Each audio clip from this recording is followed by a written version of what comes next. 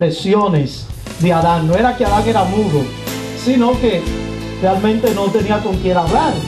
Pero tan pronto vio aquella hermosura, ¿sabe que ahí está el primer poema que describe la palabra del Señor? Cuando Adán vio a Eva, dijo, he aquí huesos de mis huesos y carne de mi carne. Dígame usted si, si una mujer con esa expresión no se, eh, eh, no se sentiría atraída. ¿Verdad que sí? ¿Dónde están las damas aquí? ¿Verdad que sí? Con esas expresiones cualquiera cae a los brazos así de Adán. Mire, y parece ser que Eva le dijo como dice este tema de este poema. Adán, así quisiera amarte. Así quisiera amarte. Con la obsesión que tienen los amantes que por primera vez se besan. Así quisiera amarte.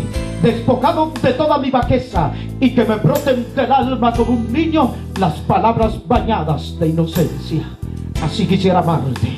En el largo camino ascendente donde tantos te dejan y con el afán de verte convertir en alfombra las piedras. Así quisiera amarte, como el joven Daniel, ante ti sonriendo entre un rugir de piedras, o bendecirte con el último aliento como el mártir Esteban. Así quisiera amarte, como Saulo de Tarso, con los pies en cadena y esperando de Nerón la bárbara sentencia. Así quisiera amarte, como el patriarca Abraham, con el puñal en alto, dolorido y sin fuerza, pero dispuesto a vivirlo en lo más querido, si tu voz me lo ordena.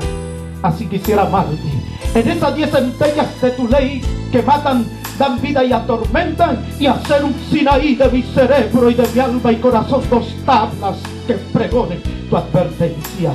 Así quisiera amarte, en la lucha tremenda por arrancarle al corazón humano el odio, el egoísmo y el holocausto inútil de la guerra. Así quisiera amarte.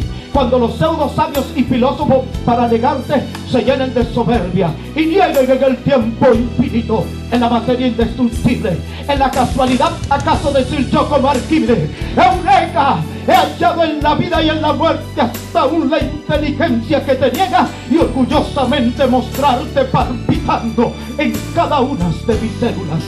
Así quisiera amarte entre montañas, entre su objetivo títulos de materias diversas, de difícil sintaxis y palabras austeras, para rendir culto a la razón, la moral y la inteligencia, así las causas de las causas te desechen, entre tanta aparente abundancia de comidas espléndidas, tirarme sin razón y sin sentido a esperar las migajas de tu mesa. Así quisiera amarte, como tú me has amado, sediento, maldecido, con espinas y clavos y con el precio de la sangre diciendo, te amo, sí, te amo. Así quisiera amarte, mas si me falta y si soy débil y cual Pedro te niego, vuelve Señor y quiéreme, me amas y al saberme llorando me dirás como a Pedro, reverendo Juan Valenzuela, apacientas mis corderos. Así Señor, así quisiera amar.